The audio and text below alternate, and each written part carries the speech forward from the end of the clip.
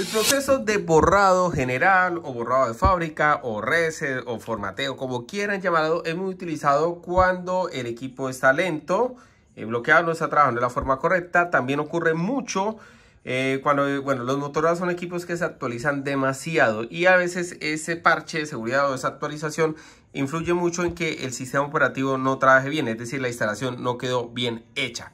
Lo otro también es cuando vamos a vender el equipo y no queremos que ninguna información quede y quede totalmente de fábrica como nuevo y para muchas más opciones. Pero para hacer este proceso, el equipo orientador móvil dar algunas recomendaciones. Bueno, la primera y fundamental antes de realizar este proceso es importantísimo recordar su cuenta de correo electrónico.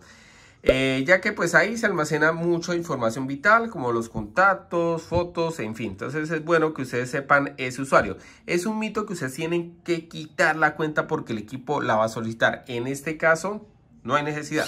Lo segundo es la batería debe estar bien cargada, preferiblemente más arriba del 50%, pues ahí estamos como al límite, a un 60%. Y tercero, indicarles que toda la información del equipo se va a perder, excepto lo que se encuentra en la SIM card o en la cuenta Gmail o en la micro SD. Entonces, ¿qué vamos a hacer? Vamos a ingresar a los ajustes del equipo, vamos a buscar acá sistemas y nos aparecen las opciones de restablecimiento. Entonces nos aparecen todo este montón.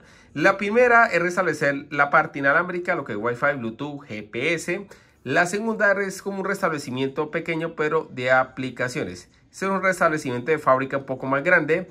Este es para quitar la eSIM, para las personas que tengan la opción de la eSIM. Y la última es la que vamos a hacer, que es borrar todos los datos. Un borrado mucho más agresivo. Él por seguridad me va a pedir el código de pantalla de bloqueo. Entonces, en este caso yo tengo una simple L. Yo dibujo acá y vuelvo y dibujo para mí, en este caso esta L, y confirmo el borrado.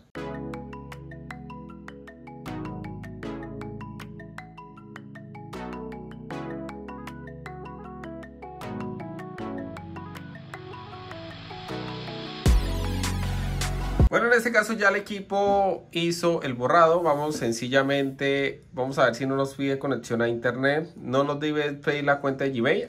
Ese equipo no tiene una SIM card puesta. Eh, bueno, entonces esperamos ahí un momento. Configurar sin conexión a internet, eso es clave a diferencia de otro proceso que sí lo exige. Aceptamos términos y condiciones. Acá siguiente. Y bueno, eso nos salta y nos ahorra mucho tiempo. Entonces acá voy a darle omitir, no quiero configurar nada, quiero ser muy ágil con este video para que pues haga toda la configuración correspondiente. Esperamos mucho más. Y acá le quito la opción de correo electrónico. Acá en siguiente, acá siguiente. Y como se dan cuenta, ya el equipo queda cargando el ecosistema de Android y ya quedaría listo para utilizar sin ningún tipo de problema. Ahí está, como nuevo.